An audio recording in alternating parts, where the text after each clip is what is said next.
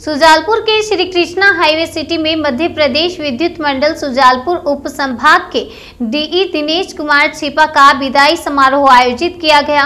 सुजालपुर से इंदौर स्थानांतरण होने के बाद श्री कृष्णा हाईवे सिटी परिवार द्वारा इस विदाई समारोह का आयोजन किया गया था।